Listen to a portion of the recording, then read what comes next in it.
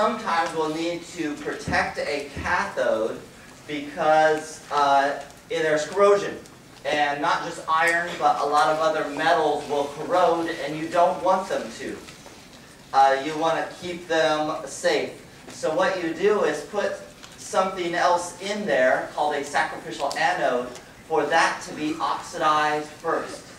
And that gets sacrificed instead of your important uh, part. So uh, let me just, uh, before I show you some examples, just give you one more definition of corrosion. So again, your cathode protection is to prevent corrosion. Corrosion is the process of returning a metal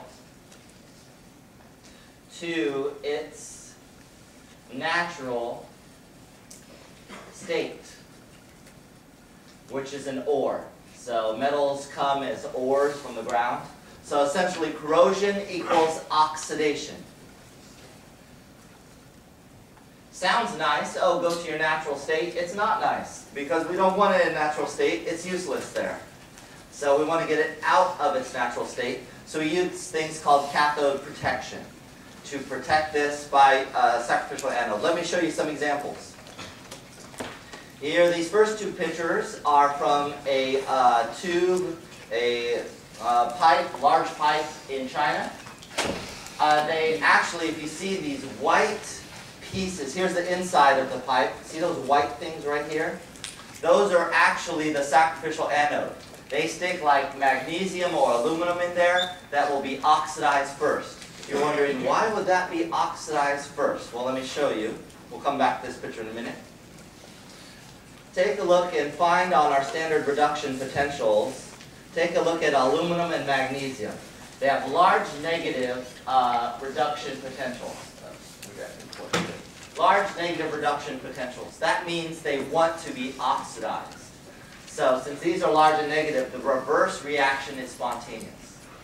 And something you didn't know before, the larger positive numbers here, the larger the number in a positive way means the more spontaneous the reduction is. The larger the negative number, the more spontaneous the oxidation. What does that mean? The reverse reaction for lithium is more spontaneous than the reverse reaction for potassium, which is more spontaneous than the reverse reaction for calcium. In contrast, up at the top, we have uh, F2. This reduction is more spontaneous than that of O3, which is more spontaneous than, the, than this thiosulfate, which is more spontaneous than this hydrogen peroxide.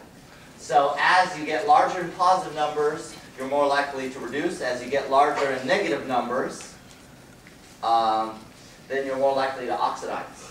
So you can see for a sacrificial anode, we like to use magnesium or aluminum because they're easily oxidized. In fact, magnesium would be a little better. And so they, all they do is just put hunks, and, and you can see them right there, these white pieces of magnesium just sitting in there. And whenever that runs out, they just go in and put new ones in there. And that oxidizes before the pipe. So it protects the pipe from being oxidized or rusty. They also do that on the outside of the pipe. See these white bags here? The white bag, there's a bunch up there.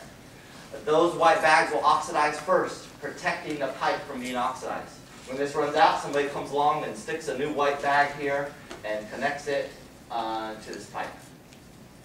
If you're a boater, a shipman, a seaman, then uh, on your boat you would do the same thing. See these white blocks right here? Those are blocks of magnesium. You just stick them right, bolt them right onto your ship. It keeps your ship from oxidizing. Uh, and when it starts to run out, you just put a new one on there. Uh, your house, whether you knew it or not, has the same thing. You all have water heaters in your houses, and there is an anode rod right uh, inside your water heater.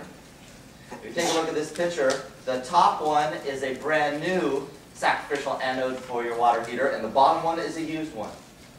You can see how it just gets eaten up, but it keeps your water heater from being used up. And if your water heater is not totally covered up at the top, there's like a hex nut at the, at the top of your water heater, and that's the top of the, this uh, pipe that goes in your water heater to protect it from rusting.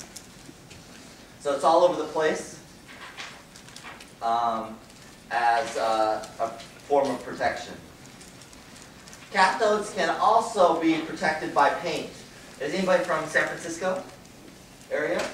You know, the Golden Gate Bridge, how often do they paint it? Of you know? They regularly paint it. All, it's all the time being painted, and it takes about, I don't know, several months or a year to paint it, and when they finish, they start over on the other side and paint across, start over again. That's because the, the paint protects uh, the bridge from rusting, and uh, when the paint starts to wear off, they need to repaint it. So paint does the same thing. Uh, another way to protect something is called plating.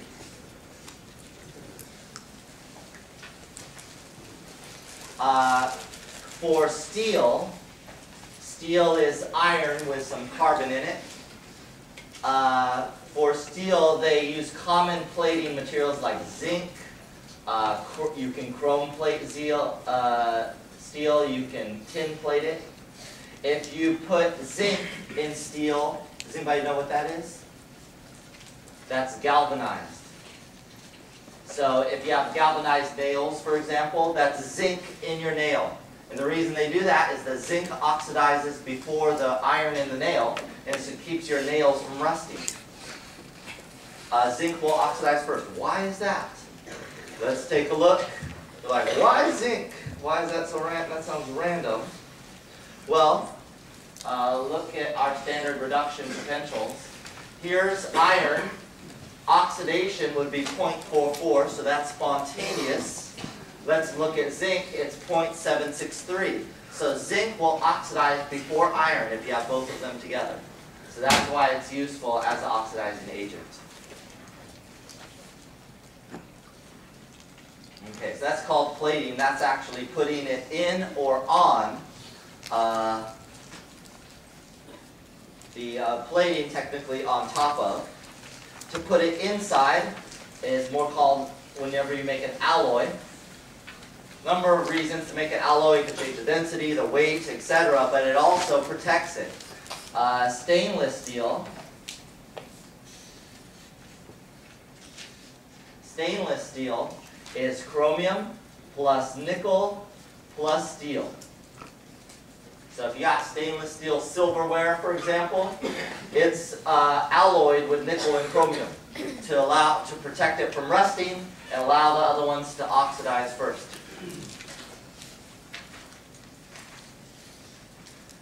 Uh, now most ships are, are made of some form of steel, of iron, uh, and so they can be really heavy.